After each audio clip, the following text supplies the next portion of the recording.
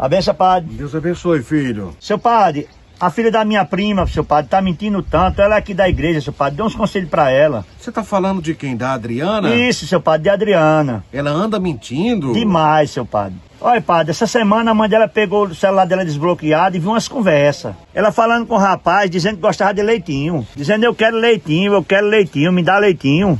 Mas será que ela não gosta, filho? O leite é um alimento tão saudável. Gosta não, seu padre, eu sou testemunha. Todo dia eu tô lá no café da manhã, ela nem prova em leite.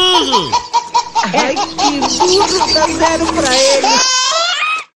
Cadê, cadê o Juarez, Aldo? Agora ele vai sair, ele tá chegando aí, ó. Ah, chegou. Vem Opa! aonde, Juarez? Vem do hospital. Vai ver o que, homem? Vou visitar meu sobrinho lá, rapaz. Nem anda e nem fala. Foi o que? Acidente? Não, ele nasceu ontem.